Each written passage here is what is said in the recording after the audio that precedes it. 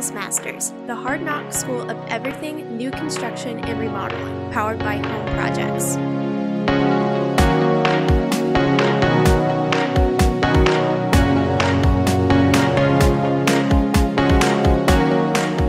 Now introducing the HomeProjeXX Housemasters, Steve and John with a three-part series, the top 15 home improvement myths. Now, part 1, numbers 15 through 11. Welcome to Housemasters, presented by HomeProjeXX. I'm Steve, and as always, I'm joined here with John. Before we get into the uh, 15 most common home improvement myths, we'd like you to subscribe to our YouTube channel or follow along with our podcast wherever you happen to be listening to this podcast. Hit like, hits the star, leave a comment, share it with the world. Uh, we'll go into a little bit more information at the end why that's important to us. But uh, this is supposed to be an organic discussion with you, the listeners, and we're hoping that you will join John and I in the discussion. If you hear something that we're about ready to say that you like or something that you challenge us on, please send us a note. If you don't want to do it via YouTube or in the podcast software, go to our website, homeprojexx.com, send us an email. We'd love to hear from you. Um, and last but not least, um, we ask that you make a donation to our cause if you're if you're able to. Again, you go to our website. Uh, there's a donate button on the navigation at the top of the page and you can use GoFundMe or PayPal and send us a donation if you're getting some value out of what it is we are doing here. And we hope you're getting some value out of this. So John, we are here to talk about the top 15 um, common home improvement myths. And we are actually going to do a series of videos here, a three series, trife try the trifecta of home improvement myths, uh, five at a time, and uh, we'll, we'll publish these in order. So when we get to the end of this episode, hopefully YouTube or your podcasting software simply roll to the next video. Um, but this will allow us to, uh, to shorten the length of the videos a little bit and hopefully give you guys a chance to take a break in the middle. But we're going to go from 15 all the way down to 1 with the grand finale at the end. And uh, a grand finale it will be. Um, so John, you want to get us cranked off here? Um, First one, uh, the number 15 is small changes in the scope of work are easy and inexpensive. Number one, number the top 15 starts with that one. Um, that's a biggie. What do you think about that? It's a biggie to a contractor. Yes. Um, it doesn't seem in the contractor homeowner relationship that it's as much of a biggie to a homeowner. And the reason the reason for that is the fact that they don't understand the process of how to plan a particular project. Correct. And why the trades are set chronologically the way they are, and uh, why this is done before this is done, and so on and so forth. And what happens is, is you get into the process and you get moving along, and you you get on somewhat of a rhythm, and then all of a sudden, homeowner comes home one afternoon from work and they say, you know, I don't like that wall there. Is there any way that we can move that wall back? It's, it's just a small change. It's it's only 18 inches. and it's like, you know, that 18 inches is going to cost you about 18 grand. Thousand dollars an inch, yeah. but but but why? I don't understand. All it is is a wall. Um, well, I have to call off of uh, call off my sub that's coming tomorrow to put the floors in because now the wall's being moved. I have to call the framer back that's now on another job site uh, to reframe the wall, and now I, am also going to have to bring in my drywall sub to re-drywall the wall, and the second portion that you don't, as a homeowner, quite understand is the fact that I now have to pay those subs twice. Twice. Because they're not going to give me a discount just by virtue of the fact that, you know, I gave them a two for one. They're going to charge me what they charge me normally for that particular project. So, um, what ends up happening in, in this type of case, and you know, there are obviously, you know, small small differences or small changes that are made, like, you know, a painter comes in, paints the master bedroom, um, coastal gray, and it's like well, coastal gray doesn't really look like the little uh, square I bought at Sherwin Williams or square I got at Sherwin Williams. Uh, can can we change the paint? Yeah, sure, we can change the paint. Not a big now, deal. that doesn't change the fact that I have to get the painter out there to paint a second time. He's going to charge me a second time, and it upsets the rhythm. But those things happen in the construction arena. Um, the thing that you have to understand is, from a contractor's perspective, that's a change order. Okay, and any professional contractor worth his weight who does a change order is going to put everything in writing.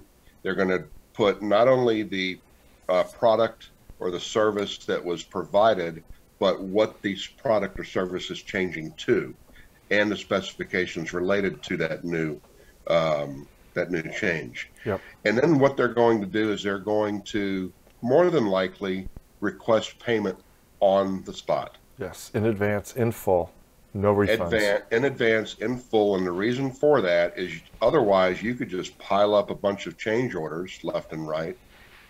Job completion date keeps, you know, inching out. He's having to put off his other clients after you, and he never ends up getting paid because you keep putting in change orders. So there's a reason. Um, you know, it's easy from a from a trades perspective to be able to do these types of things a lot of times. Sometimes it's not. Most of the time it is, but it doesn't change the the uh, the idea that it, we have to completely upset the apple cart and start over from scratch. So that's why it's a major myth and a big misnomer in the home improvement industry. Yeah, and further down the list there, there'll be another myth that feeds into this, but um, uh, you know, what is it? What do they say? An ounce of prevention is worth a pound of cure. Um, planning ahead and making sure mistakes like that don't happen is also, uh, uh, you know, part of the plan too. If you can avoid that. Now, obviously, you get walls up, you get things up. You you know you can't see something until it's in in, in real life, and we'll talk a little bit more about that here in a minute. And things have to move, and, and you know if, if if a change order for ten grand to move the wall 18 inches makes that space worth living in for the next 30 years, then that's a that's a great investment. But you as the homeowner have to understand it's not a small change. Scope of work um, does change. It has a cascading effect, and it's not inexpensive. And let me also say real quick, Steve, before we get on to the next one. Yep. There's a lot of people, especially homeowners, because they're not in the arena every day, that don't have the gift of visioning things conceptually. Mm-hmm you and I have that gift from the standpoint that we've been in homes our entire life. But there's even builders and remodelers that, that can't conceptually see something until it's actually built in front of them. Um, that's just, you know, that's just certain brains work different ways. And, and, we understand that. And that's why, you know, a change order in a, in the process is, is an acceptable mode of, you know, of the process. Correct. Um, but you just have to understand that while it's acceptable, there are consequences that uh, are attached behind it that you need to be understanding of. So, absolutely. All right, on to number 14 of the most common home improvement myths. Speaking of expensive, the myth is more expensive is always better. And th- this this can it can be true, but more than likely more expensive does not mean always better. Um, elaborate on that. Before I elaborate, I also want to notate that this is going to somewhat contradict what we're going to go into next. Number 13? number 13. but we'll explain that as we move along. Um, expensive being always better uh, is more geared to not necessarily the contractor, but usually the material that's being used on the job site. Correct. Um, let's say, for instance, um, let's uh, talk about bathroom finishes or kitchen finishes. Uh, your your faucets, say, you know, uh, a, comp, a, you know, a faucet like a Price Pfister or a, um, a Delta is going to be more expensive than, say, Hampton Bay at Home Depot. But the style of Hampton Bay might fit your needs better than the options that are available with Price Pfister or Delta. Correct. Um, the sprayer might work differently, or you know, have a it might have a certain feature on the the type of uh, spray that comes out of the uh, the hand sprayer. Uh, it could be a number of different things. Um, take Windows, for instance. Um, you've got a lot of uh, expensive windows out there. You know, your Andersens, your Pellas, your Marvins, Kolbes. Um, gosh, I mean, there's a number of them out there. You know, those are all wood clad products. Um, but there's some wood clad products out there that don't put, you know, millions of dollars in, in uh, marketing and advertising. Uh, and, you know, when they put those millions of dollars into marketing and advertising, just like the the faucet names that we we mentioned earlier. Price goes um, that, that's a cost of goods mm-hmm. that they have to profit off of. So, you know, uh, coming from the building material side of the business, like I did starting out in my career, um, there's a lot of non-known brand names out there that are just as good as the big names. Absolutely. Um, decking, you know, you got Trex. Everybody calls it Trex. Trex is kind of like the Kleenex of the tissue market, of the deck market. Um, you know, people don't say, "Hey, give me that box of puffs." Right. They say, "Give me a box of Kleenex." Right. Um, they do the same thing in the decking world, you know, with Trex. There's a lot of other products out there that are equally as good as Trex, if not better. Yeah, people say, uh, "I want Trex like." Exactly. You know, it becomes a noun turns into an adjective, and, and there's a there's several other products out there that are actually better than Trex, in my opinion, that don't have the, the price tag. They're easier to install. They're more um, uh, sustainable, better warranty, more colors, easier to work with, and cheaper, uh, frankly. So yeah, often the brand becomes synonymous with the actual product that's being put down. Yeah. So in other words, trucks, Trex, what you said, becomes synonymous with composite decking. Yep. You know, um, so you know, just just keep that in mind when you're when you're trying to budget for you know particular products. Uh, try to look at your needs first as opposed to your wants, and definitely don't try to keep up with the Joneses just because it has a you know, a, a brand attached to it. Um, in some cases, I mean, you know, a brand does mean something. It does. But it does. Research, I mean, yeah. I mean, you take, for instance, like a lock set. You know, Baldwin. you can't go wrong with a Baldwin yep. lock set. The guts are good. You know, uh, Schlage. You know, I mean, you know, there's there's a number of them. Like Yale is another good one. Um, but you know, just just make sure that you're you're putting your priorities in the right spot. So speaking of the right spot, number 13 on the list, as we alluded to prior, is a contradiction to number 14. And it is cheaper is always better. This is probably the biggest the last five on the list, in, in my opinion. Yeah, and uh, you know, the contradiction here is, you know, when we were speaking in, in the last uh, one, the more expensive is always better. That was geared more towards material cost usually. This one, cheaper is always better, is geared more towards the contractor that Service you're hiring. provider. Yep. Okay. It's interesting. It's an interesting dynamic that people always want to keep up with the Joneses when it comes to tangible products. Um, but they don't want to keep up with the Joneses when it comes to being intelligent with the contractor that they hire. Um, we had a previous episode that we were talk where we were talking about um, you know somebody getting three bids. Yep. And one of the contractors was twenty thousand dollars, another was twenty two thousand dollars, and the other one came in at twelve five.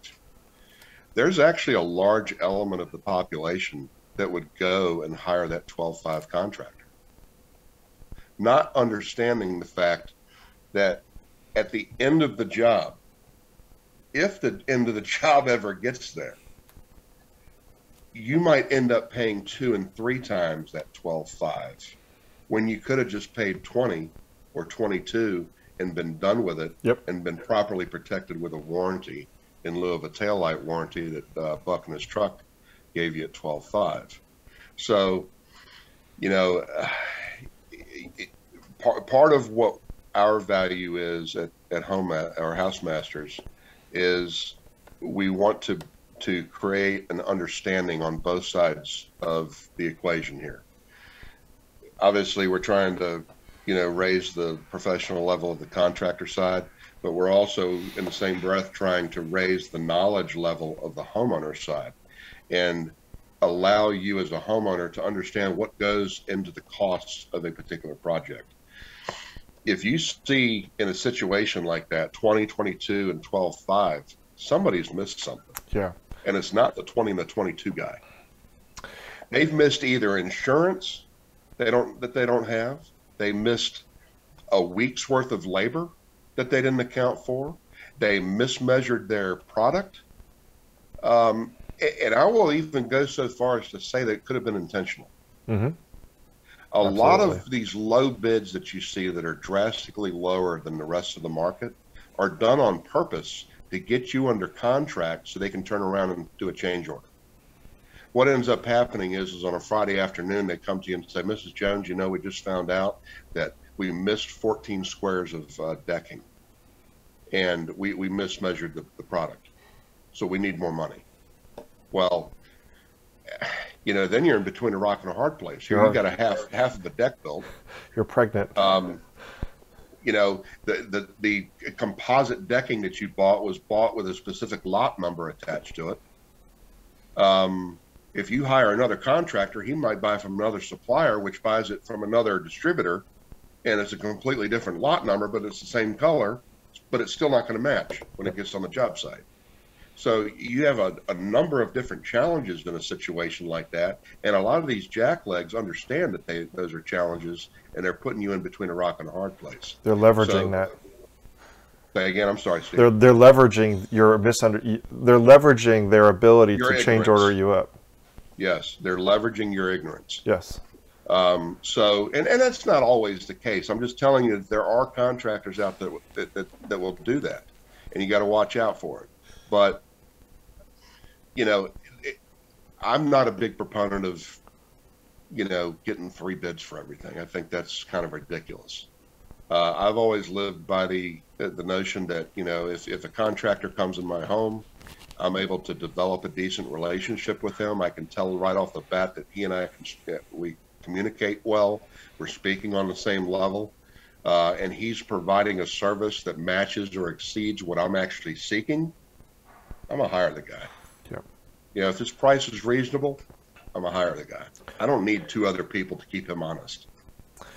No, you're actually right. And I, and I at this point in time, I'd, I'd reference a, a, video we've already um, published uh, about contracts, and uh, we we actually went into a bit about that. I encourage our listeners, our viewers, to go check out the uh, contra- uh, contracts for homeowners 101 series um, where we talk a bit about that and how the contract that you agree to um, could impact um, the cost of the work and how honest your contractor will be with you uh, on those.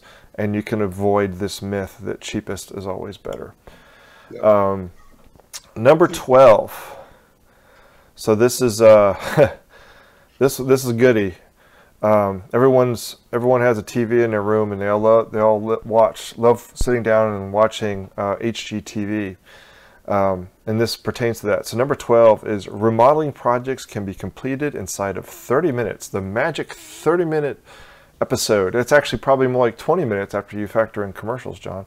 Um, yeah, actually it is. and um, there's there are no uh, hiccups on the job site. No. Nope. There, everybody who's on a job uh, at the time they're scheduled to be. Yep. Um, at seven o'clock in the morning. Yep. Um, there's no snafus when it comes to you know different um, you know product choices or sizes or anything like that picked. Uh, everything is just a okay, 100% perfect. And um, these particular shows, while they have value in terms of creating ideas uh, from a from a design standpoint, from a color uh, palette standpoint, from a number of different arenas in the in the construction business, um, they've done a major disservice to the industry because what they've done is they've created a scenario where the contractor is up against a clock, and they shouldn't be. Right. They should go at their own pace, at the pace that's going to provide a, prefer- a perfect product at the end of the job. And um, I don't know how many times, you know, homeowners said, "Well, uh, you know, uh, I, I, I, I need you in here on Thursday, and it needs to be done by Monday, and you can't work on the weekends." And you can't start before nine, and you have to be gone by four. Yeah, either that or you can't be in the house when I, when nobody's at at the house. You have Right. to work at night. Right. I've gotten that too. Um, so, no, these projects they last what they last. If you're in a full remodel where you're getting um, electrical and plumbing and HVAC and those types of things uh, You have inspections. altered in your home, uh, that adds time to the project because you're dealing with inspections. Um, you know, uh, you might deal with the actual failure of an expect, inspect, inspection, or you might deal with a pain in the rear end inspector from your county or city.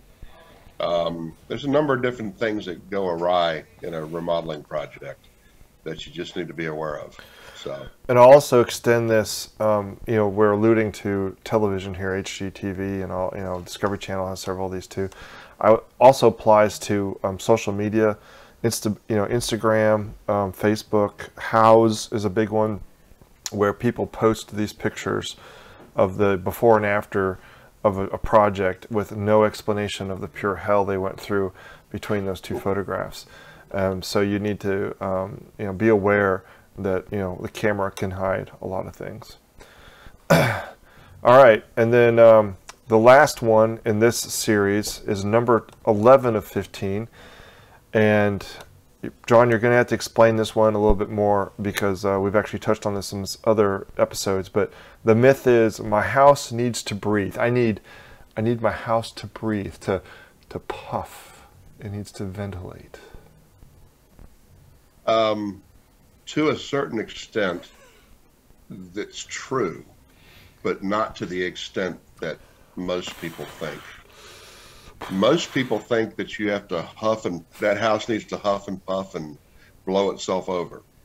Uh, that is not the case. Uh, the difference in what we're talking about here is an uncontrollable breath where the house is ventilating uncontrollably through penetrations and gaps and crevices and everything else that are just present just by virtue of the way a house is constructed and the way a house is settled over the years versus providing a controlled ventilation system that works in unison with your HVAC system to controllably ventilate the house and allow it to breathe. Correct. So we want a minimum breath of that house, but the breath that we want needs to be controllable to make it so it can be the most healthy home to stay to, to live in, as well as the most energy efficient home to live in. Yeah. So there are two completely different schools of thought there. The old school of thought was, yeah, it needs to breathe like a, a uh, split rail fence. uh, that's not the case. Um, and, and and the changes in, in thought have really it's only been the last 15 to 20 years Yeah. really where that that dichotomy has changed uh, big time. And a lot in of- fact, it's gone 180 degrees from what it used to be. a lot of that has to do with building code. Um, indoor air quality is a you know as the green movement has evolved in this country and has shown up in the international building code. Um, building sciences uh, have impacted the, the indoor air quality codes, and uh, and modern air conditioning systems are required to have, provide makeup air. That's a that's a technical term that homeowners should know and understand, especially if they're going to replace um, a HVAC system. Makeup air is air that's brought in, intentionally brought into the house, heated and cooled, and used to supplement airflow inside the home. So that as your air in your house circulates, it's replacing that air with fresh air. That's the makeup air it's using. And then if you have an ex- exhaust hood, a lot of homes now have these enormous exhaust hoods over their ranges for exhausting cooking fumes and that is putting a constant negative pressure in your house. When you turn that fan on, it's just like the exhaust fan in your bathroom. It blows air outside. Well, that inherently takes air out of the house and puts it under negative pressure. Well, guess where the house is going to try to make that air up? From the outside. It's going to try to suck it in through those cracks and crevices that you mentioned. So um, fume hoods are generally just are designed to bring in their own air. Again, makeup air or fresh air. Uh, that are usually not conditioned in that case. But um, those are all mechanized systems with science behind them, building science, to make sure your hair, your the house, your the air in your house is healthy. Um, reduces mold and mildew, which are the same thing. Um, airborne contaminants um, has a function of how what your your air filters are. But your house does need to breathe. It just has to be engineered to breathe correctly. That good enough? I believe you. Okay. I believe you, man. All right. Preach, so preach, brother. preach, brother. Um, so we uh, we're going to take a, a, break here uh, at the end of this this top five here, and we're going to terminate this video and hopefully roll you into the next one. But if you're not sticking around for the um, next five myths in the series, uh, we ask that you like this video, subscribe to our channel. If you're on podcast, please give us a comment, uh, subscribe to that as well. Again, hit us up on socials if you got any questions or if there's any other myths you would like to, us to discuss. Um, this is all a little bit tongue in cheek, but it's also serious at the same time. So uh, hopefully we'll see you in just a couple minutes. If not, um, look for you on next time. Thank you. Peace. HomeProjeXX House Masters continues with top 15 home improvement myths, part 2, numbers 10 through 6. Welcome back to House Masters, presented by HomeProjeXX. I'm still Steve, and John is still here, and we are still talking about the top 15 home improvement myths. And we're getting ready to talk about number 10 through number 6 ratcheting up the excitement as we work towards number one. As always, we ask you to subscribe to our channel, like our videos, share with your friends. If you see, if you like what you're seeing, please share us on social media. More importantly, if you have any questions or comments or any ideas for future myths, please put them in the comments or visit our website and send us an email. It's supposed to be an organic discussion, and we hope that you participate. So, John, number 10. Is this where I get to talk? Well, we we know that you're going to. um, but, but before you do, do these does this series of episodes somehow make you feel like Casey Kasem? yeah, like I'm counting down the top 15 songs in America or something. Yeah, like, like every Saturday morning. Yeah, you listen and you, and you record it, so you have your favorite songs on a on a on a yeah. recorded tape. I, it almost makes me want to do a, um, you know, a, a, what was it? you'd have those people call in or email and and they wanted to dedicate a song.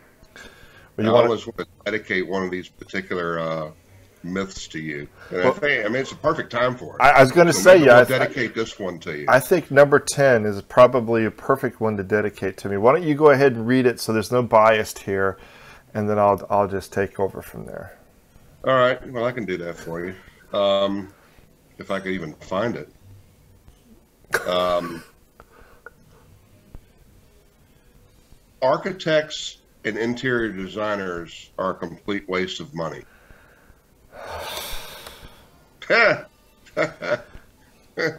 I'm a little embarrassed so, that we. So now is the time that you must justify and redeem yourself. I'm, I'm, I'm disappointed we even have this on the list. I guess, I guess I'm happy that we're in the top third of the of the least surprising.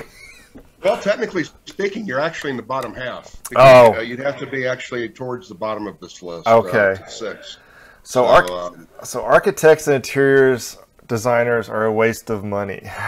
so, um, obviously, I'm an architect. Um, I'm a licensed architect, state of North Carolina. Have been for going on 15 years. and when I was in practice, I specialized in uh, high-end residential. Um, uh, adapt historic uh, adaptive reuse and some commercial work. Um, and I competed with, in my market, in North Carolina, you're not required to be a licensed architect to do residential design.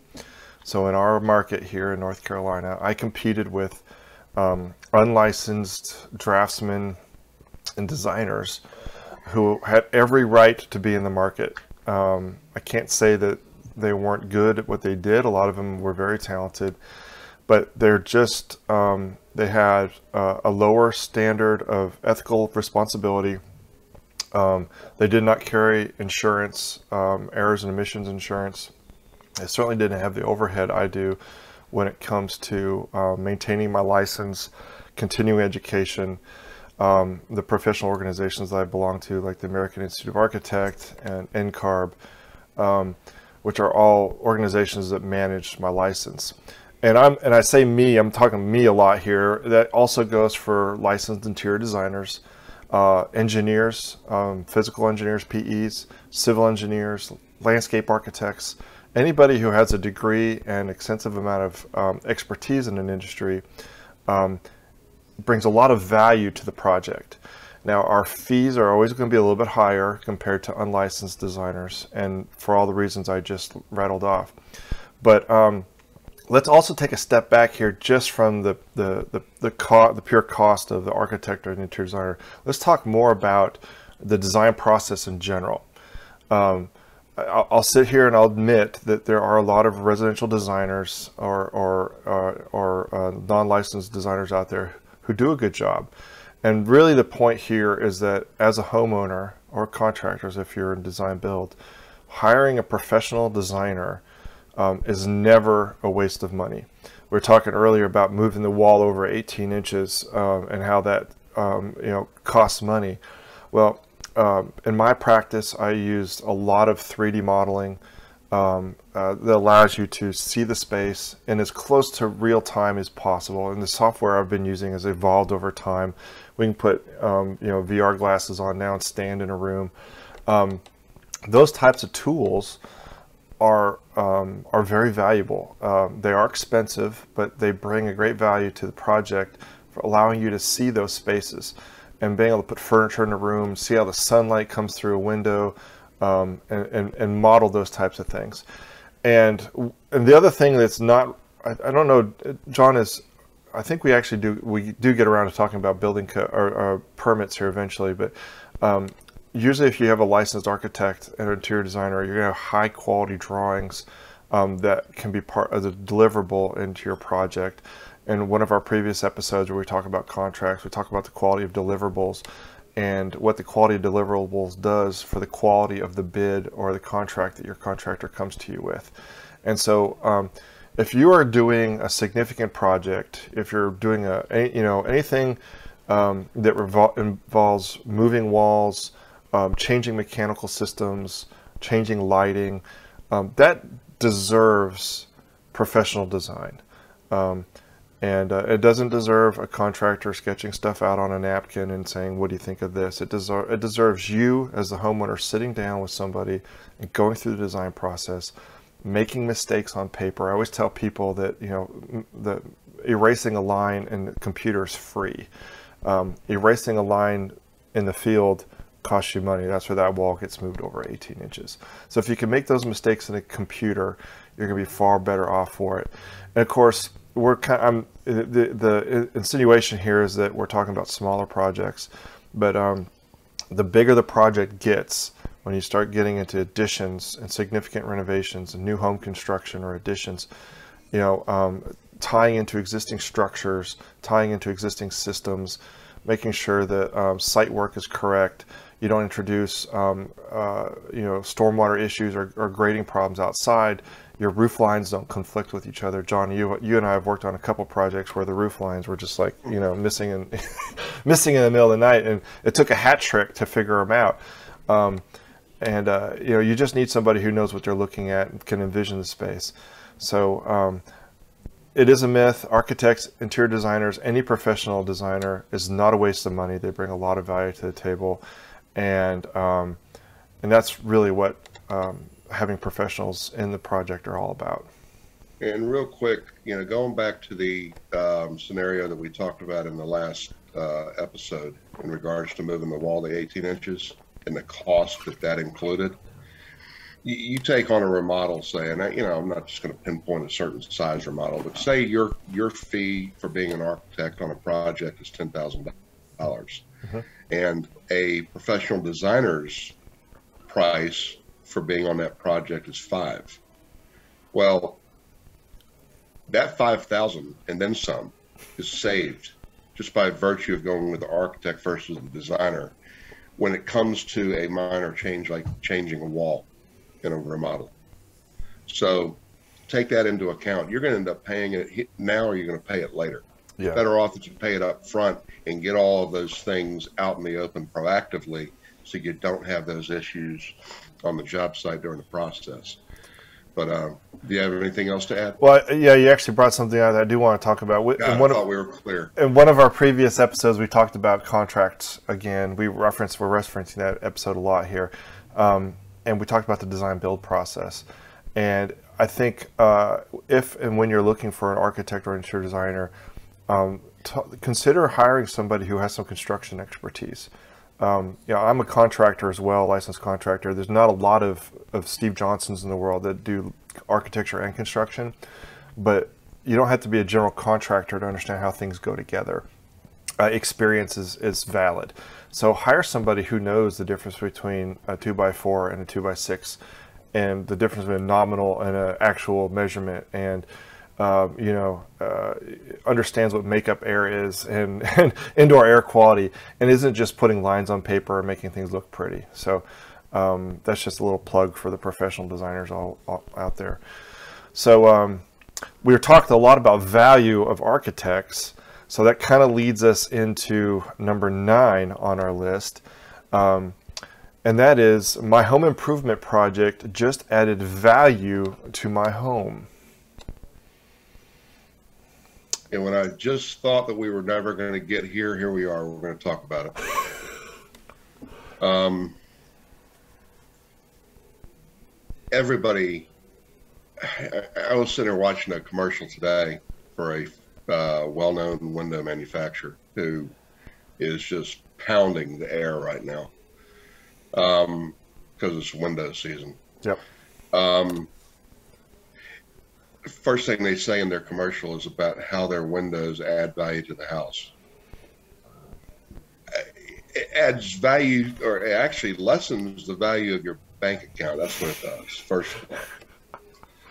Second of all, um, Remodeling Magazine, I think it is, every year has what they call a cost of value report.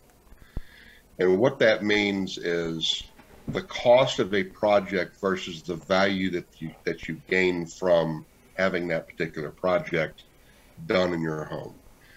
And there's not a project on the list that is a one for one proposition.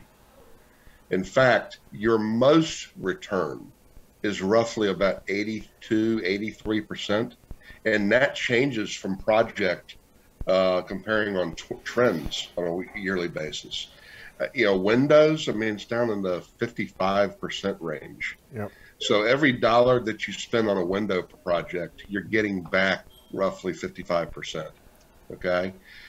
You have projects out there that will actually devalue your home. Yeah, a pool. Uh, a pool is a prime example. I mean, especially in above ground. But if you put an in-ground pool in certain jurisdictions, you know, the appraisers in that jurisdiction might look at that pool as being a liability. Homeowners, when you when you put the house up for sale, a lot of times will look at a pool as not only a liability uh, from you know a standpoint of safety, but also a liability from the standpoint of cost mm-hmm. in terms of maintaining that pool. It's expensive to maintain a pool. Um, so don't don't live by this mantra that everything that you're going to do to the house automatically your house value just went up five grand because you did it. That's not the case at all. In fact, we'll talk just speaking windows again real quick because they're really easy to talk about. You know, in most cases, for one, the real estate agent when they're selling a house, you're not going to re- realize the value of your home until you actually sell the house. Okay, you're going to pay on it through pay, through your taxes, you know, every year, or however your uh, however your jurisdiction is set up when it comes to property taxes, but you're not going to realize the true value on your house or the uh, the depreciation, uh, the appreciation of that house until you sell it, or the depreciation in, in some particular markets. Yep. Um, there's some appraisers that don't account for vinyl windows versus wood windows. Um, there's not a true model out there that's a set sta- I mean, there's standards out there, but there's a lot of wiggle room around those standards. And the real estate agent, damn sure ain't going to talk about vinyl windows versus the wood, No. or vinyl clad versus a vinyl uh, vinyl window. They don't talk about those types of things. They just So- say they have it has new windows is all you get out of it. Yes, and new windows doesn't add any particular set value to a house on the appraisal sheet. So, you know, just keep all these things in mind um, when you're doing this. Don't do it from a value standpoint. Do it from a need standpoint within the house and the utility of how your house works. Or, you know, if you got some money laying around and you want the extra convenience and you want that, you know, um, that garden tub, you know, go ahead and put it in. Um, but don't think that you're going to uh, get an extra two grand Right. of value because you put a garden tub in your master bathroom. You need to do it for you. Um, I tell people, I tell clients all the time, design the house for you. Um, when I hear them start talking about what's the best design decision for resale, you know, what does the next owner think about it? I'm like, um, no, that's that's the that's the wrong reason to be thinking about this. Um, if you're if you're designing for the future for someone you don't even know yet, um, you're basically designing a spec home. So design for you, design what you like. Be aware of fads. Um, 99% of interior design decisions made in kitchen flips and bathroom flips are based on current fads and current trends. Um, uh, the average uh, homeowner who owns their house for 30 years will renovate it twice. Uh, and they're usually focusing on kitchens and bathrooms.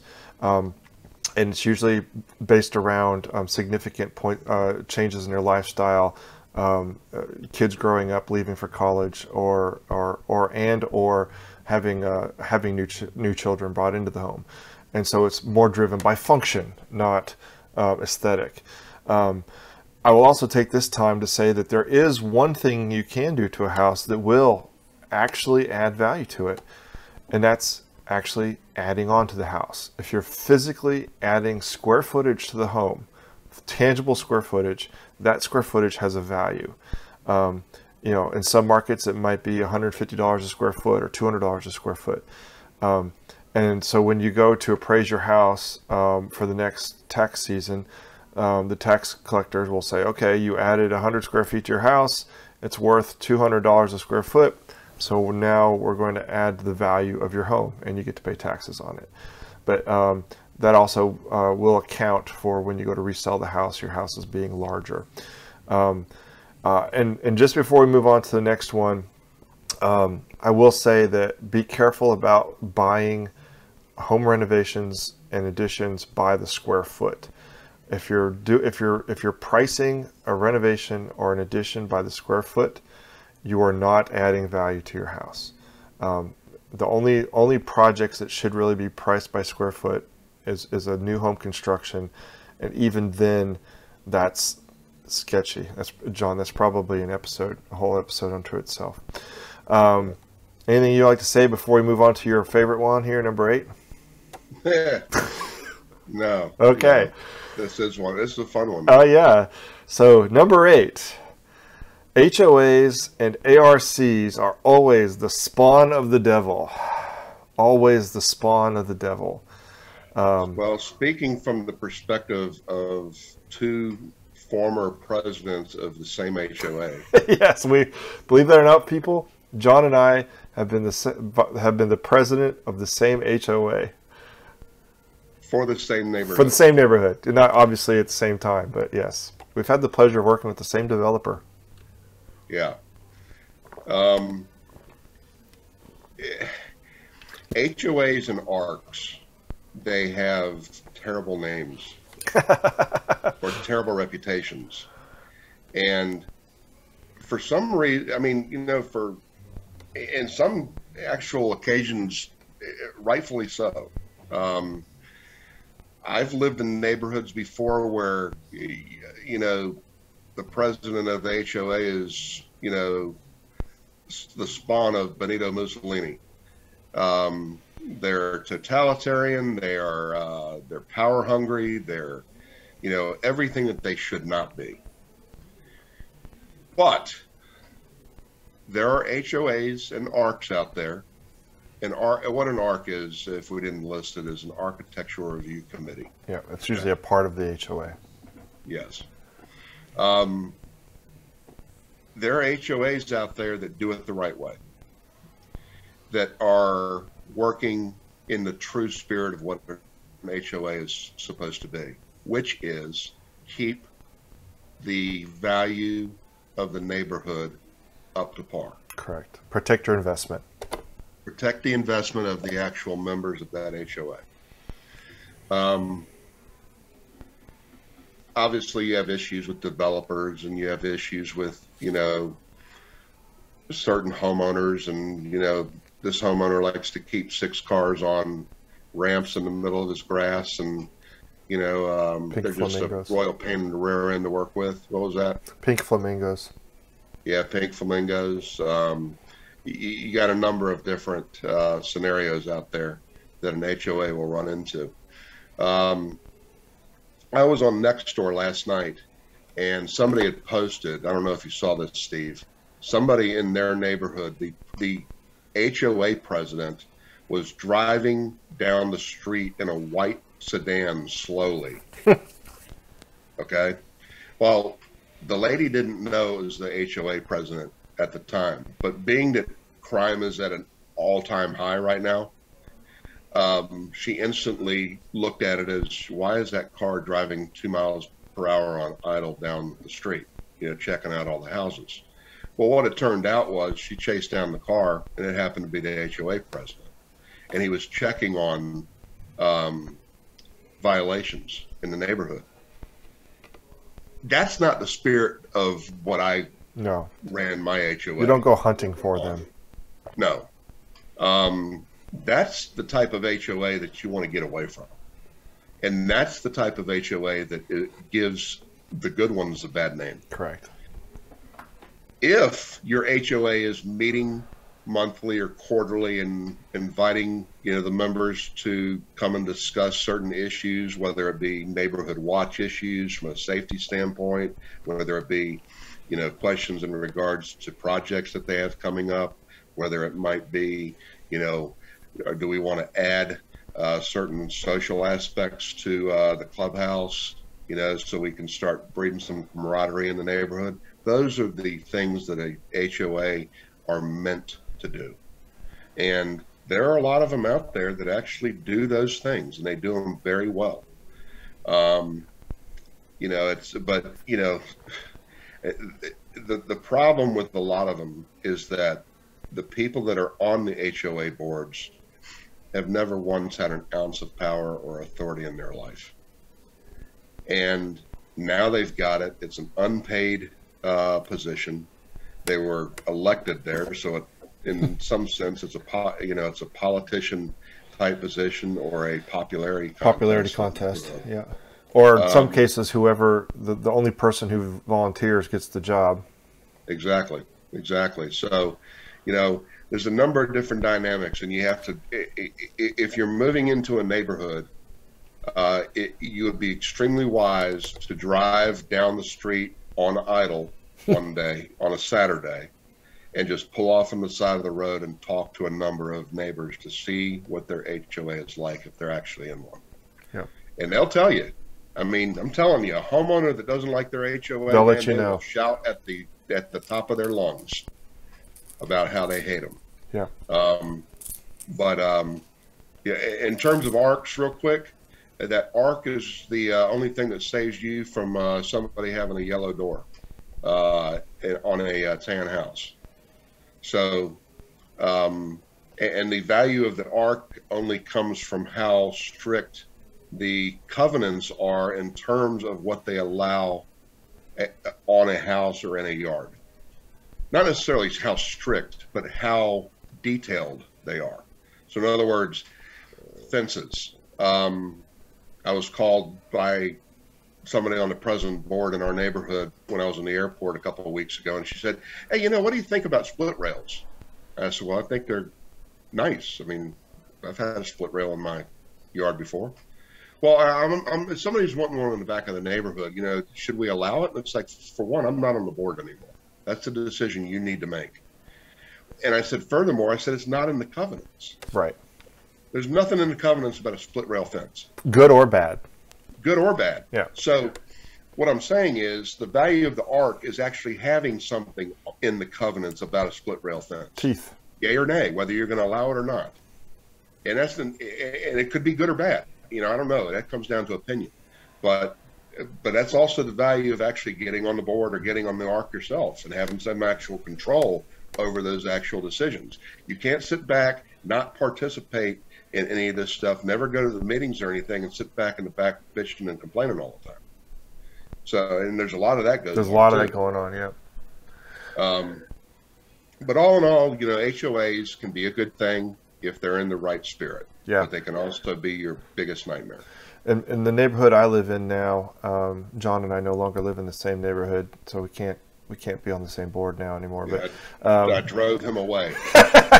uh, in my neighborhood, we have a couple stormwater devices, uh, ponds um, for the layman, and uh, and we have privately owned roads and um, street lighting, as well as sidewalks. And so all of those entities are managed by our HOA. Um, a good chunk of our annual dues go towards the maintenance of those devices. And we also have a professional management company that our board has hired to manage those things. So, although we have uh, we have a lot of really smart people in our neighborhood, a lot of engineers uh, and business people in my neighborhood, so there's a lot of talent on our board, and that talent suggested, hey, we should have a professional management company, and and we do, and they're responsible for the, the day-to-day operations of of managing those entities. But more importantly, they're also responsible for um, managing, uh, uh, you know, issues between homeowners.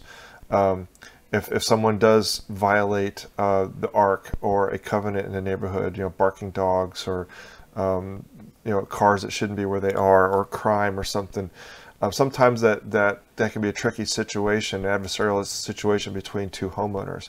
And, the bo- and a board member can call in the management and say, "Hey, we need you to to, to na- navigate this for us," and that that brings a lot of value. So, um, anything you want to add before we move on to number seven, which is also another No. big one that I'm going to take offense to? no, I, I, there's partial offense that I take to it. okay. So, uh, without further ado, so number seven on our list is um, a contractor will always screw you. Now, the reason why I said I partially take offense is the fact that I could, I voluntarily stepped away from actually being a contractor. So, um, As did you know, I. I, I, I got it out of my blood. um, but you know, you're still in the uh, in the fray, Steve. I am. Um, So there are a lot of very good professional contractors out there that are in business for the right reasons. They employ good people that work for them. I had some of the best employees. I had, you know, for a construction business like I ran, I had no turnover. You know, when I hired somebody, I was extremely picky with who I hired. I interviewed probably to a fault to get the right person, and I paid well. And I, I mean, at one time, I didn't have anybody on my entire construction crew in the field that had that were with me less than three years. That's unheard of That's all, that's incredible. Yeah, especially uh, in this in the market. trades. I mean, I mean, we talked in a previous episode about you know a lot of in, this business, man. I mean, a lot of these guys, especially the, the uh, low end of the totem pole laborers, you pay them on Friday and they don't show up on Monday. Yep. You know, so if you're if you're doing things the right way and for the right reasons, you know, your employees will pay you back with loyalty, and that's going to only provide an ultimate top-notch service to the homeowner that you're trying to serve. There's a lot of contractors out there that that meet every or they check every box in terms of what it means to be professional, what it means to follow up, what it means to communicate, what it means to, you know, build a sound, professional, and moral business. But you have a large element in this industry also that because, and I'm going to say this, and I know I'm going to get myself in trouble. Um, I'm constantly in trouble for my mouth, but they they're not educated. You're dealing with some of the and when I when I'm when I say this, I'm speaking in terms of percentages now. Okay, a large percentage of the construction industry, you're dealing with the lowest of the doldrums when it comes to a value of a person. You're dealing with your alcoholics, your drug addicts, your your you know your wife beaters, your you know uh, husband beaters, your being you know everything that you don't want to be, you're dealing with on a job site. And I'm telling you, man, I mean, I, I there were some people that I had as subcontractors, man. It's like you know, I don't know if I want that guy in the house. Now, granted, he was a subcontractor. I didn't have but so much control over that. But just by virtue of the way he looked, mm-hmm. didn't provide the professionality that I was actually seeking uh, or what I was trying to offer my homeowner. Um, but yeah, you've got some real jacklegs out there that, you know, they don't have the skill set, they don't have the education. Um, they have a very uh, difficult time um, getting along with society in terms of how to navigate a uh, level of communication with a homeowner. Um, you know, uh, you, you got to be careful, but you know, as with anything, uh, you know, it's anytime a sentence says will always or will never, it's usually false. Correct. Okay, because there's always going to be elements on both sides of the fence. Um, I would venture to say that uh, there's a good 30 to 35 percent of contractors out there that are wholesome, good, moral people, and they're in it for the right reasons. And I would venture to say, Steve, that you agree with me. I would. Um, you know, there's a there's a joke on the street that 99% of contractors make the other one percent look bad.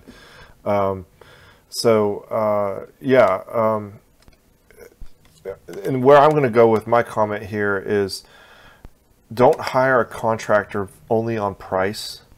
Um, if you're worried about being taken advantage of, make sure you're hiring someone you trust and have a relationship with. And of course, you can still get you can still make a mistake and hire the wrong person even though you like them or trust them. But um, if you if you have a relationship with them, then um, that will go a long way. And you know, my, we have a running joke in our house that you know always bring someone into the house and see how the dogs react around them. Um, if the dogs don't like them, then kick them out. You know, um, that's there's a lot of truth to a that. lot of truth to a lot of truth to that. If if you know if if if you don't if you get the the willies around somebody, if they if they if they apparently don't have similar lifestyles and um, ethics and and uh, and uh, uh, you know a perception of, of how they present themselves as you do, then you're probably not going to get along with them very well.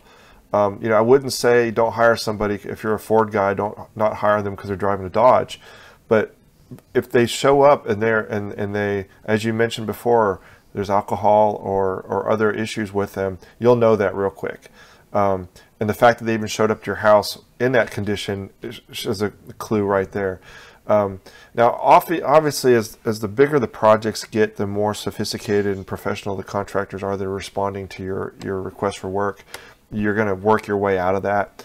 But, um, you know, there's, there's a lot of unlicensed trades out there that have all the characteristics that John just described. So, again, we've done a couple episodes already about contracts um, that talk a lot about how to weed these out.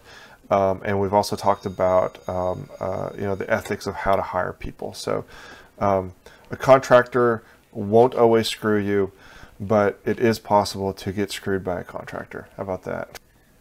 There are professional contractors that they're not going to intentionally screw you, but you at the end of the project might deem that you got screwed by them. That's correct. Yep. Just by virtue of a misunderstanding. Yep. Absolutely. And that's kind of that that's probably happens more often than not. Why we're doing what we're doing as in this podcast that we do, you know, with home projects is the fact that we're trying to create understanding of each other from both sides of the table. And there, there's been a major disconnect over the past decades in this industry. I mean, major, major disconnect. And we realize it. I mean, heck, we, we, we lived it. Um, you know, you don't live it so much, Steve, because you're more on the commercial side now. But in the residential side, man, yeah. I mean, it's it's a it's a match of egos. Of course. You know, and um, you know, it's it, it, this homeowner's brace. I mean, they, they hate you before you even knock on the door. If you're a contractor, just by virtue of this particular myth right here that we're talking about. Yeah. Because they've been conditioned to think that man, this guy when he comes in this house, he's going to screw me to high heaven. Yep. That's just not the case.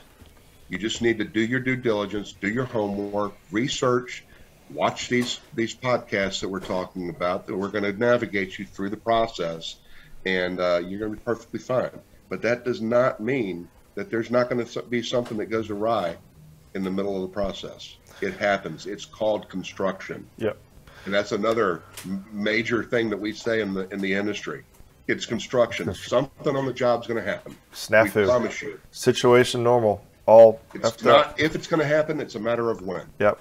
I will. Um, uh, yeah, all that's correct. Um, I don't really have a whole lot to add to it, other than the fact that, um, again, interview, interview. I always on when I was on doing design build work, and clients always asked me about interviewing contractors. They of course always asked me for for referrals, and I, I would make referrals to contractors I had relationships with.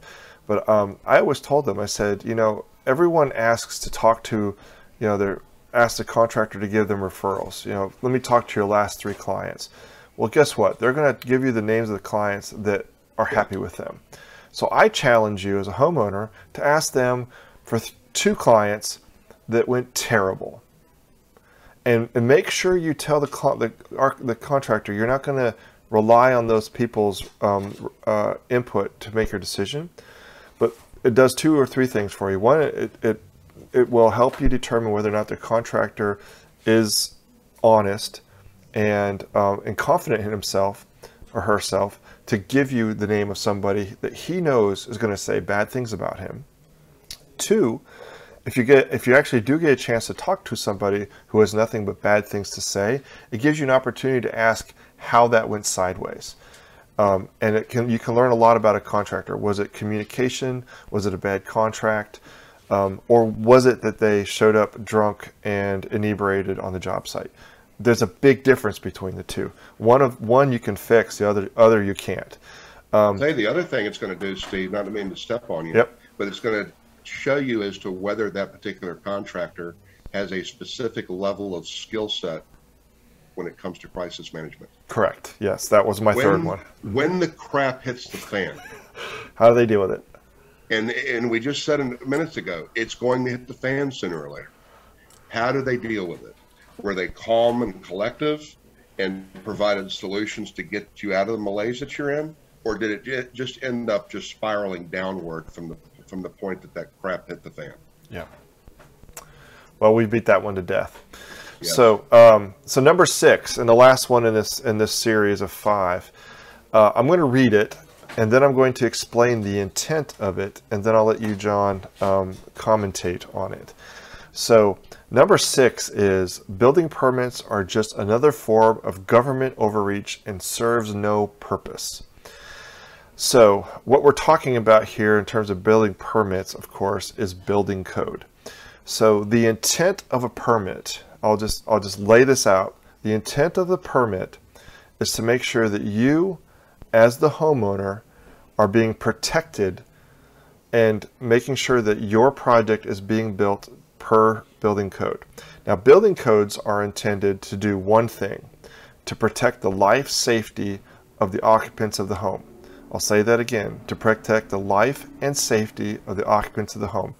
Uh, it's, it's actually part of the oath architects take um, to protect the life safety of occupants. And contractors also, through their continuing education every year, are reminded that their intention is to protect the life safety. So building code is designed to protect the life safety. It's not designed to make sure that your doors are square or your windows don't leak or that, or that something is installed incorrectly. Inspectors are not there to inspect the quality of the work. They're there to inspect that everything was put together in the way International Building Code dictates. Uh, the building code is adapted and modified about every three years. We're on a three-year um, a permit schedule or a, a codes um, cycle. cycle. So, what's that? Cycle. It's Cycle. So every three years, uh, a bunch of engineers, architects, and business people get together and decide um, what parts of the code need to be modified and, and which ones um, are, are good. Sometimes they take things out. Most of the time they add things um, but it protects the life safety. That includes fire protection, electrical um, protection, plumbing protection, structural protection, um, the basic needs of keeping Mother Nature out of your house, the building envelope. We refer to that in another um, episode. But building the uh, the building code is designed to protect you, and the only way to make sure that the building code is being used is if you, as the homeowner, get a permit. If you don't get a permit, shame on you it's before I turn this over to John for his commentary, I will say that as an architect and a general contractor, one of the, the things that, um, that I, I actually made a lot of money with was people calling me and saying, I got caught. I started a project without a building permit and they shut me down. And now I need a building permit. Well, guess what? If you want to go get a permit post haste, in other words, after you've built the, the structure, you have to do demolition to that structure so that the building inspectors can come in and inspect what they would have normally inspected without all the stuff in the way. For instance, electrical uh, electrical inspector needs to make sure that your boxes and your switches are all installed correctly and grounded correctly and that you're using the right wire and, that, and the wires are terminated. Well, they can't see that with, elect- with the drywall up and your switches all in nice little places. So you'll have to do demolition to pull it off to see that and call the inspections. If there's a structural issue, you may have to do demolition to, to make sure that um, they can see what was built. So that's a major pain in the ass. You know, going back to um, uh, why do you hire an architect? Uh, an architect is going to require you to get a building permit. Architects cannot seal drawings that are not that uh, for projects that should have a permit that don't. So that's a, a level of, of care that's built in there. And finally, um, before I get off my my uh, soapbox here, um, when you go to sell that house in the future, let's say you put on a mother-in-law addition with a kitchen, a small kitchen, a bathroom, and a bedroom. Um, a real estate agent will compare the floor plans that are in this in the system because uh, the, the tax collectors will, will document your house and there's basic footprints of your floor plan in the system. And if they go to sell the house and realize that the floor plan in the system doesn't match what's actually built they have to disclose that. As part of the disclosure documents in your closing documents. And if there wasn't a building permit called pulled for that work you as the seller have to go get a permit. Otherwise, um, you're either going to be you're either going to take responsibility for it, or you're going to ask your homeowner or your buyer to take responsibility for it. And that usually means money coming out of your pocket. So that's generally where the when it happens when I get called and they say, hey, uh, you know, we want to sell the house, but you know, the the garage addition we did 15 years ago, we hired a Chuck in the truck or Dan in a van. He came in, built it. Um, it may or may not be on our property line. It may or may not be connected to the right utilities. Uh, you know, uh, there's a myriad of things that could have gone wrong with that. But if you had just simply pulled a permit and had it inspected, you could have avoided all that. Okay, I'm done, John. You can go from there. The only thing that I'm going to add to that, because that was pretty thorough in itself, and you stole some of my thunder, is I want to I want to talk about another short scenario here. Say you have a 20 year old house, your deck has become decrepit, and you need to replace it. And when I say replacement, I'm not, not talking about just changing the deck boards. I'm talking about tearing down the entire thing down to the footers and starting from scratch. If you hire a deck contractor who does not pull a permit, or you do not pull a permit if you're allowed to in your jurisdiction, and you put that deck up, whether it meets code or not, there are a lot of jurisdictions that will tell you to tear that deck down. And if you're in a position where you're in the midst of selling your house.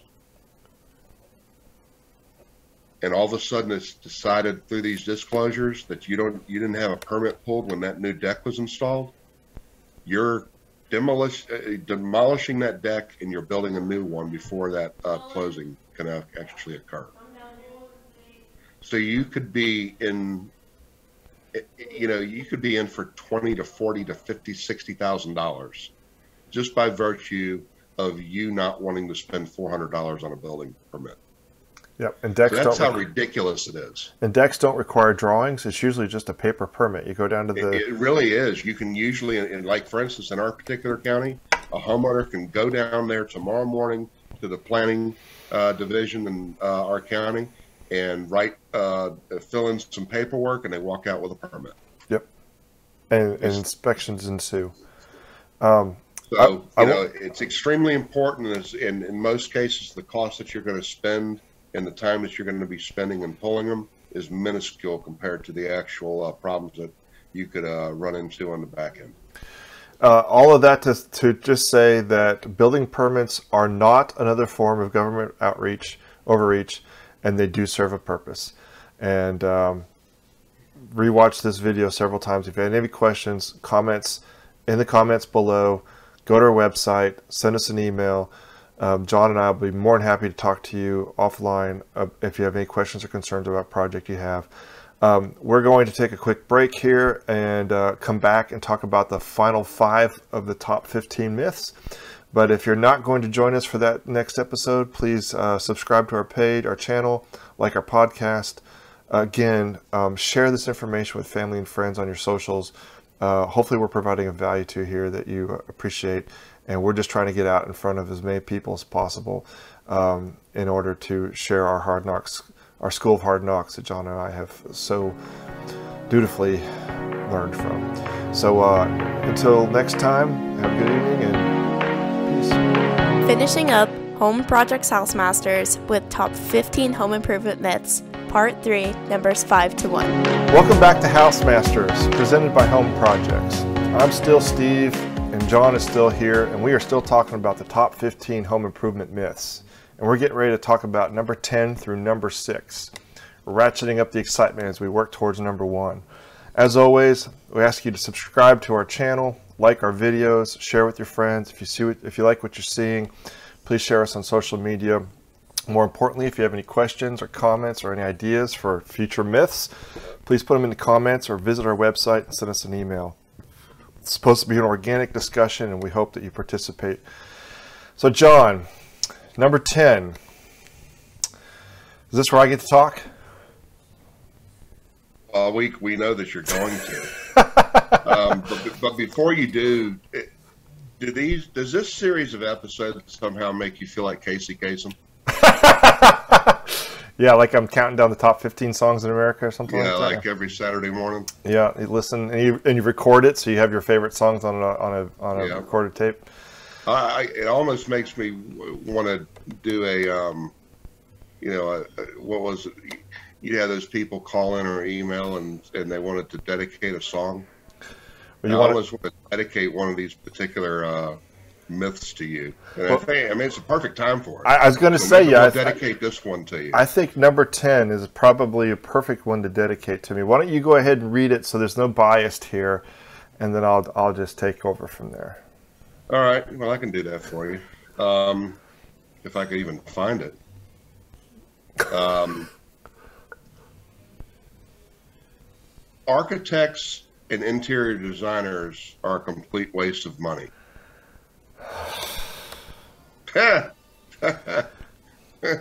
I, am a little embarrassed so, that we. So now is the time that you must justify and redeem yourself.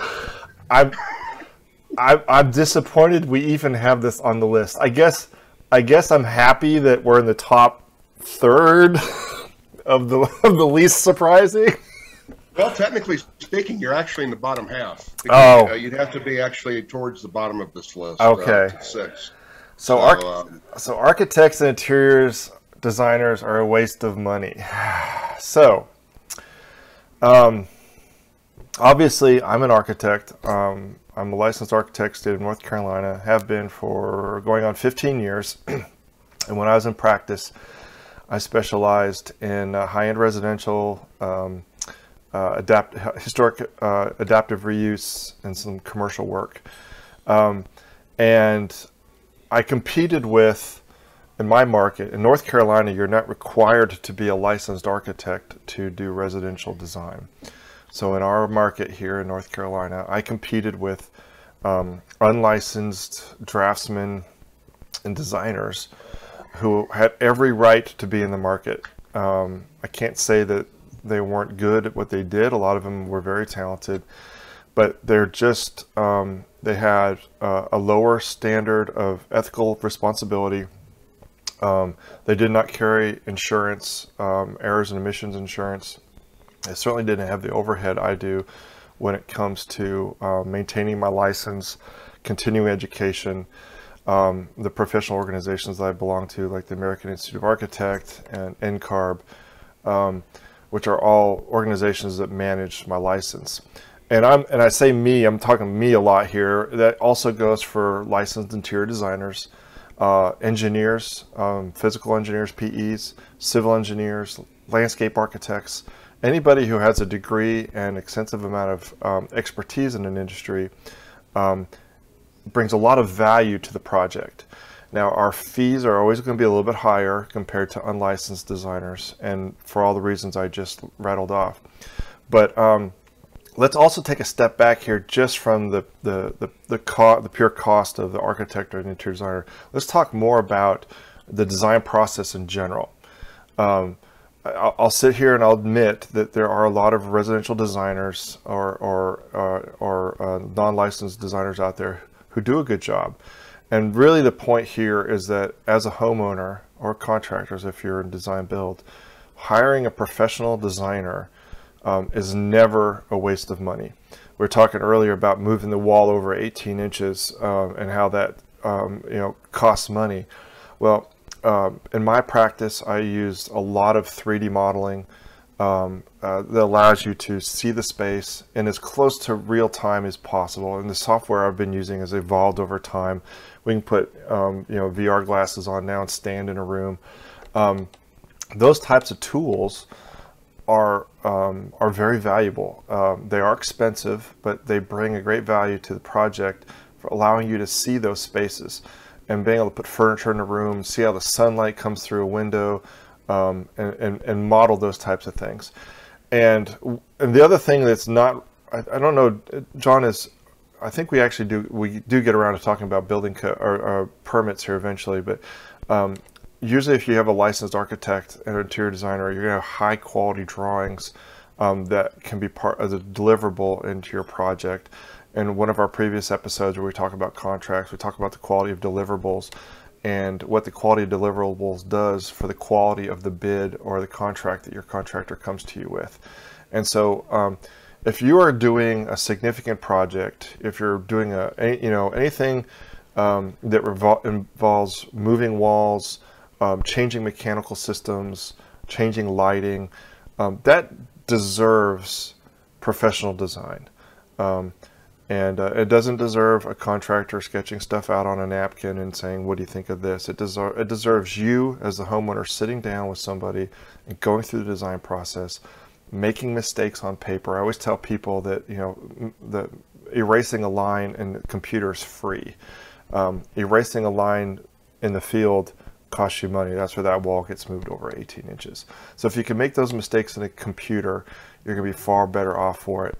And of course, we're kind of, the, the insinuation here is that we're talking about smaller projects, but um, the bigger the project gets, when you start getting into additions and significant renovations and new home construction or additions, you know, um, tying into existing structures, tying into existing systems, making sure that um, site work is correct.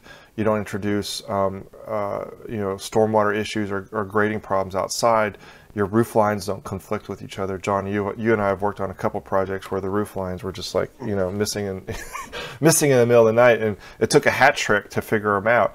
Um, and uh, you know you just need somebody who knows what they're looking at and can envision the space. So um, it is a myth. Architects, interior designers, any professional designer is not a waste of money. They bring a lot of value to the table, and um, and that's really what um, having professionals in the project are all about. And real quick, you know, going back to the um, scenario that we talked about in the last uh, episode in regards to moving the wall to 18 inches and the cost that that included. You, you take on a remodel, say, and I, you know, I'm not just going to pinpoint a certain size remodel, but say your your fee for being an architect on a project is ten thousand dollars, mm-hmm. and a professional designer's price for being on that project is five. Well, that five thousand and then some is saved just by virtue of going with the architect versus the designer when it comes to a minor change like changing a wall in a remodel. So take that into account. You're going to end up paying it now or you're going to pay it later. Yeah. Better off that you pay it up front and get all of those things out in the open proactively so you don't have those issues on the job site during the process.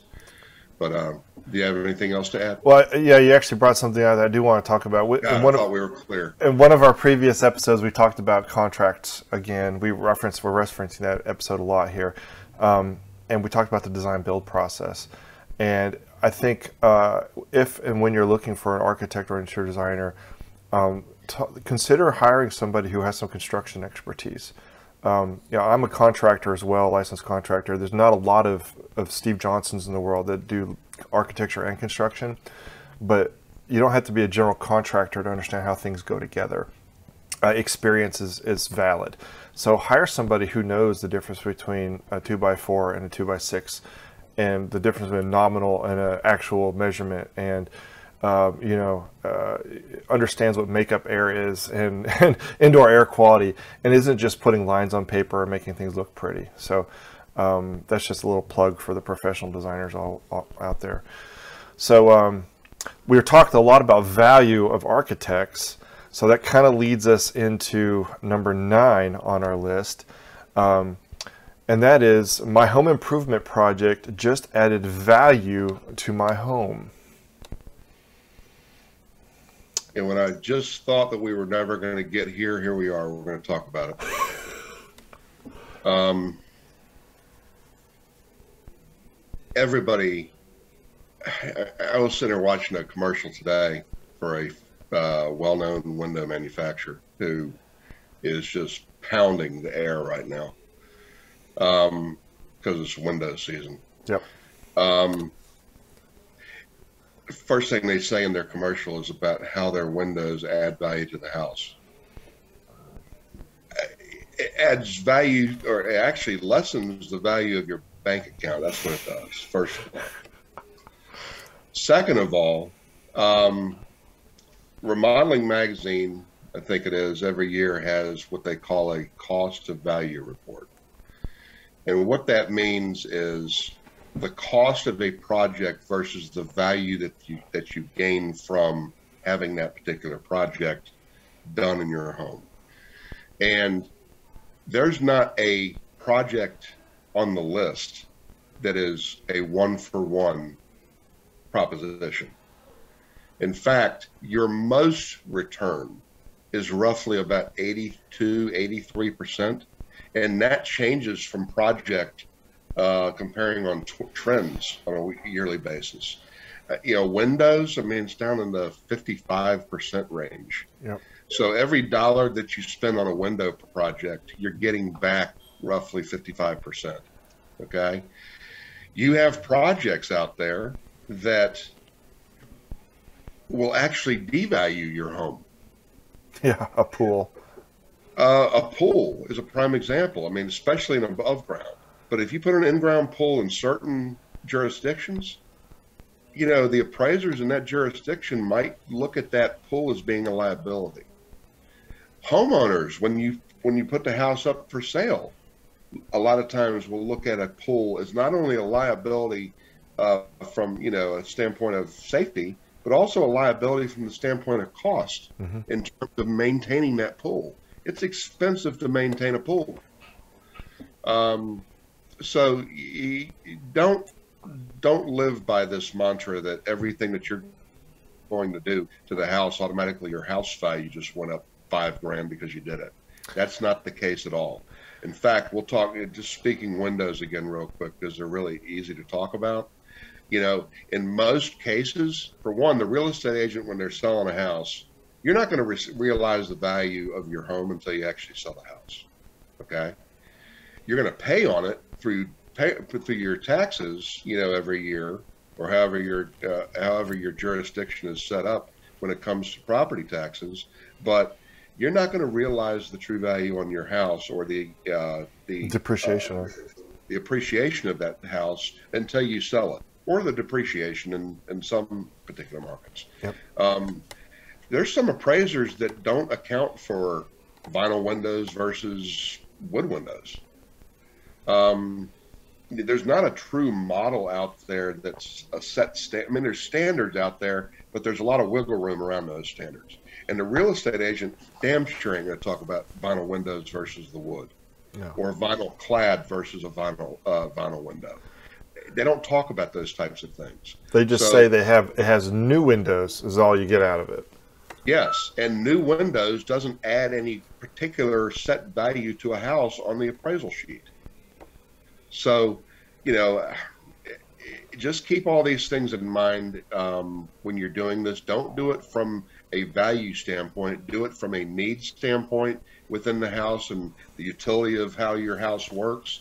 Or, you know, if you got some money laying around and you want the extra convenience and you want that, you know, um, that garden tub, you know, go ahead and put it in. Um, but don't think that you're going to uh, get an extra two grand right. of value because you put a garden tub in your master bathroom. You need to do it for you. Um, I tell yep. people, I tell clients all the time, design the house for you.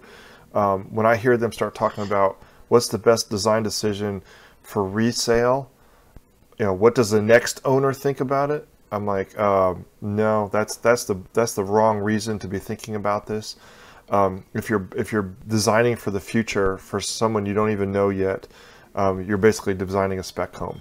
So design for you, design what you like. Be aware of fads. 99% um, of interior design decisions made in kitchen flips and bathroom flips are based on current fads and current trends. Um, uh, the average uh, homeowner who owns their house for 30 years will renovate it twice uh, and they're usually focusing on kitchens and bathrooms.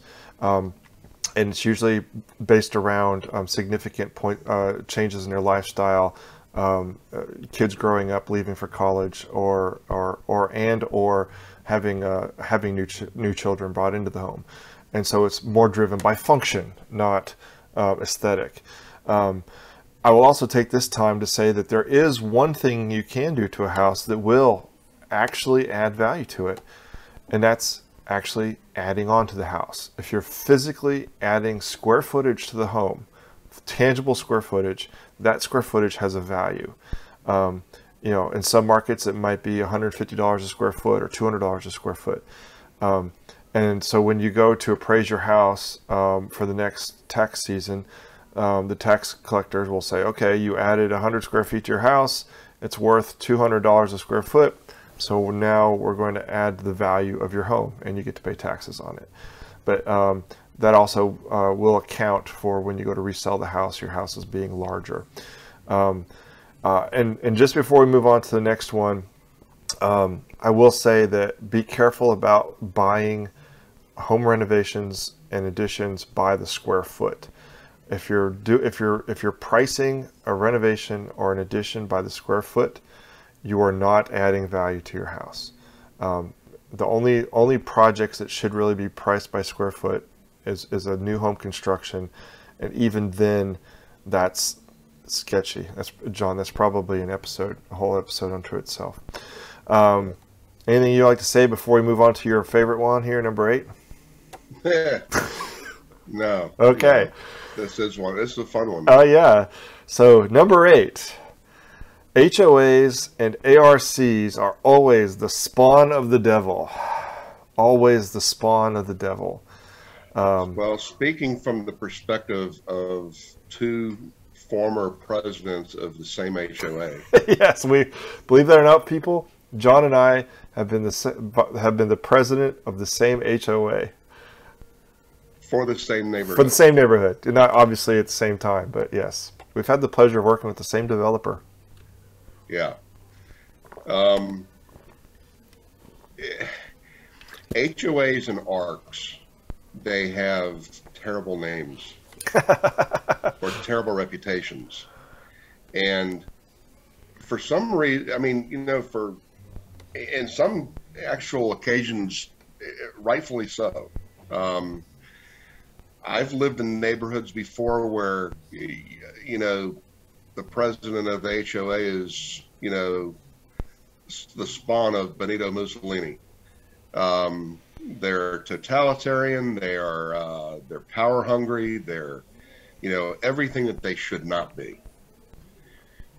But there are HOAs and ARCs out there.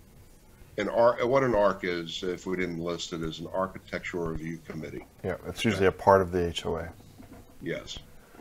Um, there are HOAs out there that do it the right way, that are working in the true spirit of what an HOA is supposed to be, which is keep the value of the neighborhood up to par. Correct. Protect your investment. Protect the investment of the actual members of that HOA. Um, obviously, you have issues with developers and you have issues with, you know, certain homeowners. And, you know, this homeowner likes to keep six cars on ramps in the middle of his grass and, you know, um, they're flamingos. just a royal pain in the rear end to work with. What was that? Pink flamingos. Yeah, pink flamingos. Um, you, you, got a number of different uh, scenarios out there that an HOA will run into. Um, I was on Nextdoor last night, and somebody had posted. I don't know if you saw this, Steve. Somebody in their neighborhood, the the HOA president, was driving down the street in a white sedan slowly. okay, well, the lady didn't know it was the HOA president at the time, but being that crime is at an all-time high right now, um, she instantly looked at it as why is that car driving two miles per hour on idle down the street, you know, checking out all the houses. Well, what it turned out was she chased down the car, and it happened to be the HOA president, and he was checking on um, violations in the neighborhood that's not the spirit of what I no ran my HOA. You don't go hunting for them. No, um, that's the type of HOA that you want to get away from, and that's the type of HOA that gives the good ones a bad name. Correct.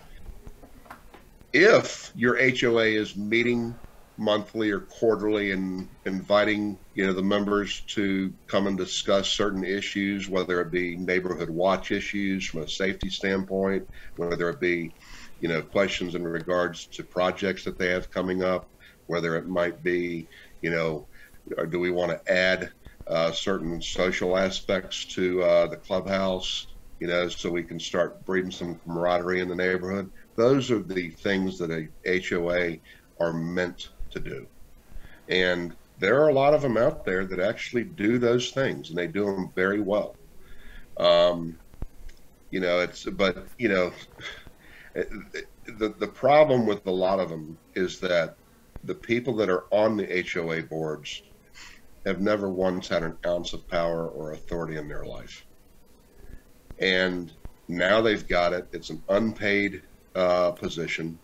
They were elected there, so it in some sense it's a po- you know it's a politician type position or a popularity contest. popularity contest yeah or in um, some cases whoever the, the only person who volunteers gets the job exactly exactly so you know there's a number of different dynamics and you have to if you're moving into a neighborhood uh, it, you would be extremely wise to drive down the street on idle one day on a saturday and just pull off on the side of the road and talk to a number of neighbors to see what their HOA is like if they're actually in one.